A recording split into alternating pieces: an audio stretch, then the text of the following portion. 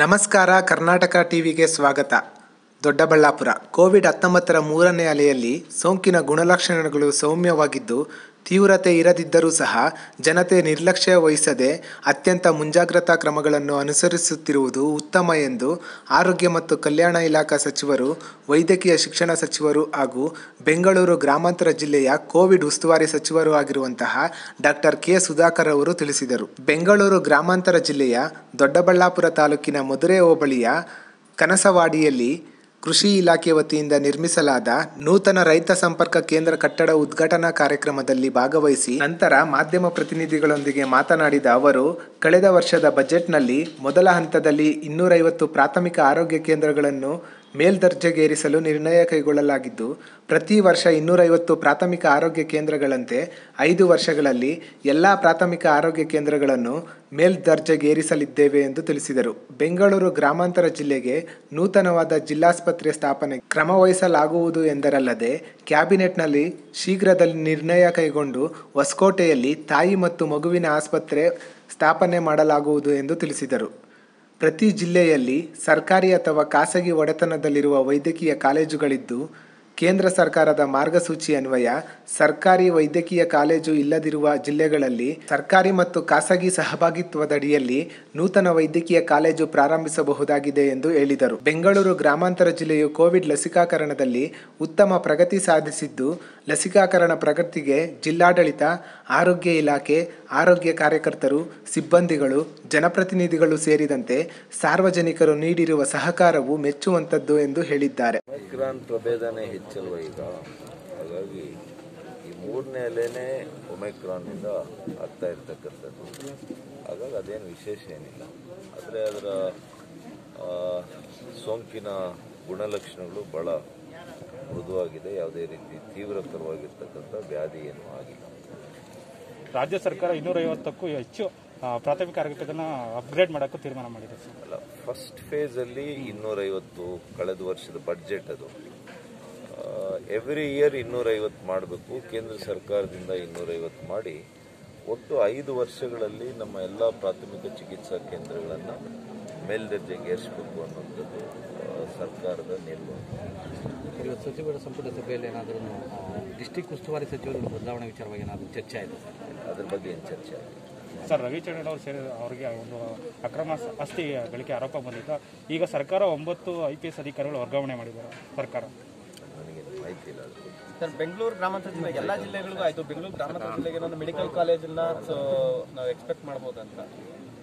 ಈಗ ನಮ್ಮ ಸರ್ಕಾರದ ಉದ್ದೇಶ ಏನಿದೆ ಅಂತಂದರೆ ಸರ್ಕಾರಿ ಮತ್ತು ಖಾಸಗಿ ಸಹಭಾಗಿತ್ವದಲ್ಲಿ ಪಿ ಪಿ ಪಿ ಮಾಡೆಲಲ್ಲಿ ನೂತನವಾಗಿರ್ತಕ್ಕಂಥ ವೈದ್ಯಕೀಯ ಕಾಲೇಜುಗಳನ್ನು ಎಲ್ಲಿ ಹತ್ತು ಜಿಲ್ಲೆಯನ್ನು ಯಾವ ಹತ್ತು ಜಿಲ್ಲೆ ಇದೆ, ಆ ಹತ್ತು ಜಿಲ್ಲೆಗಳಲ್ಲಿ ಪಿ ಪಿ ಪಿ ಮಾಡೆಲನ್ನು ಬಳಸ್ಕೊಂಡು ಮಾಡಬೇಕು ಅನ್ನುವಂಥದ್ದು ಒಂದು ನಿಲುವಾಗಿದೆ. ಪಾಲಿಸಿ ಆ ರೀತಿಯಲ್ಲಿದೆ, ಆ ರೀತಿಯಲ್ಲಿ ನೀತಿಯನ್ನು ರೂಪಿಸ್ತಾ ಇದ್ದೇವೆ. ಯಾಕೆಂದರೆ ಈಗಾಗಲೇ ಪ್ರತಿ ಜಿಲ್ಲೆಯಲ್ಲಿ ಖಾಸಗಿ ಅಥವಾ ಸರ್ಕಾರಿ ವೈದ್ಯಕೀಯ ಕಾಲೇಜು ಇದೆ. ಎಲ್ಲಿ ವೈದ್ಯಕೀಯ ಕಾಲೇಜು ಖಾಸಗಿಯವರದಿದೆ ಸರ್ಕಾರಿ ಕಾಲೇಜು ಇಲ್ಲ ಅಂಥ ಜಿಲ್ಲೆಗಳಲ್ಲಿ ಪಿ ಪಿ ಪಿಯನ್ನು ಮಾಡಿಸಬೇಕು ಅನ್ನುವಂಥದ್ದು ಒಂದು ನೀತಿಯಾಗಿದೆ ಅದು ಕೇಂದ್ರ ಸರ್ಕಾರದ ನೀತಿ ನೀತಿ ಆಯೋಗದ ಮಾರ್ಗಸೂಚಿ ಇದೆ. ಅದರ ಅನ್ವಯ ಮಾಡಬೇಕು ಅಂತ ಉದ್ದೇಶ ಮಾಡಿದೆ. ಗ್ರಾಮಾಂತರ ಜಿಲ್ಲೆಗೆ ಯಾವ ಕೂಡ ಅದಕ್ಕೆ ಬರುತ್ತಲ್ಲ ಮಾಡಬೇಕು ಅನ್ನೋದಾದರೆ ಅದು ಕೂಡ ಪಿ ಪಿ ಪಿಯಲ್ಲೇ ಮಾಡಬೇಕಾಗ್ತದೆ ದೊಡ್ಡಬಳ್ಳಾಪುರ ಜಿಲ್ಲಾಸ್ಪತ್ರೆಯನ್ನು ಅಪ್ಗ್ರೇಡ್ ಮಾಡೋದಕ್ಕೆ ಕ್ಯಾಬಿನೆಟ್ ಅಪ್ರೂವಲ್ ಆಗಿಲ್ಲ ಅಂತ ಆಸ್ಪತ್ರೆ ಅಪ್ಗ್ರೇಡೇಷನ್ ಅಲ್ಲ. ನಿಮ್ಮ ಜಿಲ್ಲಾ ಆಸ್ಪತ್ರೆ ಹೊಸದಾಗಿ ಬೆಂಗಳೂರು ಗ್ರಾಮಾಂತರ ಜಿಲ್ಲೆಗೆ ಆಗಬೇಕಾಗಿದೆ. ಅದನ್ನು ನಾವು ಮಾಡಿಕೊಡ್ತೀವಿ ಅಂತ ನಿನ್ನೆ ಭಾಷಣದಲ್ಲೂ ಕೂಡ ಹೇಳಿದ್ದೀನಿ. ಹಾಗಾಗಿ ಅದು ಹೊಸ ಜಿಲ್ಲಾ ಆಸ್ಪತ್ರೆ ನಿಮ್ಮ ಜಿಲ್ಲೆಗೆ ಆಗ್ತದೆ.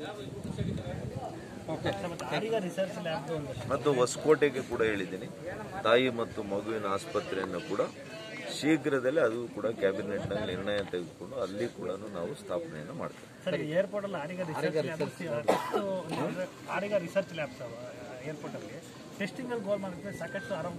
ಆ ರೀತಿಯಲ್ಲಿ ಏನಾದರೂ ನಿಮಗೆ ಸ್ಪೆಸಿಫಿಕ್ ದೂರ ಇದ್ರೆ ಕೊಡಿ ಖಂಡಿತವಾಗಿ.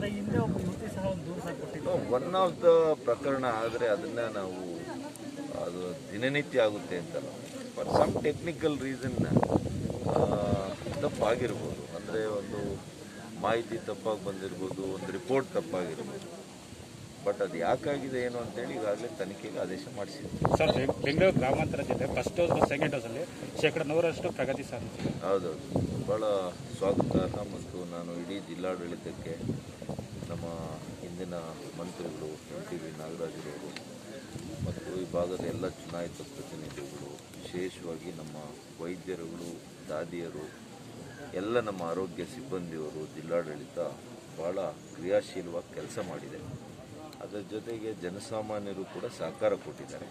ಅದಕ್ಕೆ ಅವ್ರಿಗೆಲ್ಲರಿಗೂ ಕೂಡ ಸರ್ಕಾರದ ವತಿಯಿಂದ ನಾನು ಅಭಿನಂದನೆ ಸಲ್ಲಿಸ್ತೇನೆ. ಸರ್ ಇಂಟರ್ನ್ಯಾಷನಲ್ ಏರ್ಪೋರ್ಟ್ ಬಂದಾಗಿ ಇಂಟರ್ನ್ಯಾಷನಲ್ ಗ್ರೌಂಡ್ ಸ್ಟಾಫ್ಗೆ ಸಾಕಷ್ಟು ಪಾಸಿಟಿವ್ ಕೇಸಸ್ ಬರ್ತಾ ಇದೆ. ಸೊ ಇದರಿಂದ ಇಂಟರ್ನ್ಯಾಷನಲ್ ಟ್ರಾವೆಲಿಂಗ್ ಏನಾದರೂ ನಿಲ್ಲಿಸುವಂಥದ್ದು ಇಲ್ಲ ಅದರಲ್ಲಿ ಏನೋ ಒಂದಿಷ್ಟು ಆಲೋಚನೆ ಏನೂ ಇಲ್ಲ.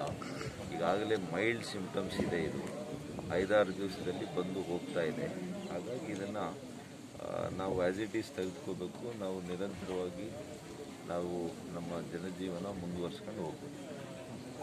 ಯು ಕಾರ್ಯಕ್ರಮದಲ್ಲಿ ಪೌರಾಡಳಿತ ಸಣ್ಣ ಕೈಗಾರಿಕೆಗಳು ಸಾರ್ವಜನಿಕ ವಲಯ ಉದ್ಯಮಗಳ ಸಚಿವರು ಹಾಗೂ ಚಿಕ್ಕಬಳ್ಳಾಪುರ ಜಿಲ್ಲೆಯ ಕೋವಿಡ್ ಉಸ್ತುವಾರಿ ಮತ್ತು ಜಿಲ್ಲಾ ಉಸ್ತುವಾರಿ ಸಚಿವರಾದ ಎಂಟಿಬಿ ನಾಗರಾಜ್ ಕೃಷಿ ಸಚಿವರಾದ ಬಿಸಿ ಪಾಟೀಲ್ ದೊಡ್ಡಬಳ್ಳಾಪುರದ ವಿಧಾನಸಭಾ ಕ್ಷೇತ್ರದ ಶಾಸಕರಾದ ಟಿ ವೆಂಕಟರಮಣಯ್ಯ, ಬೆಂಗಳೂರು ಗ್ರಾಮಾಂತರ ಜಿಲ್ಲಾಧಿಕಾರಿ ಕೆ ಶ್ರೀನಿವಾಸ್, ಜಿಲ್ಲಾ ಪಂಚಾಯಿತಿ ಮುಖ್ಯ ಕಾರ್ಯನಿರ್ವಹಣಾಧಿಕಾರಿ ಕೆ ರೇವಣಪ್ಪ, ಜಂಟಿ ಕೃಷಿ ನಿರ್ದೇಶಕ ಜಯಸ್ವಾಮಿ ಉಪನಿರ್ದೇಶಕಿ ವಿನುತಾ ಸೇರಿದಂತೆ ಸ್ಥಳೀಯ ಜನಪ್ರತಿನಿಧಿಗಳು, ರೈತ ಮುಖಂಡರುಗಳು ಉಪಸ್ಥಿತರಿದ್ದರು.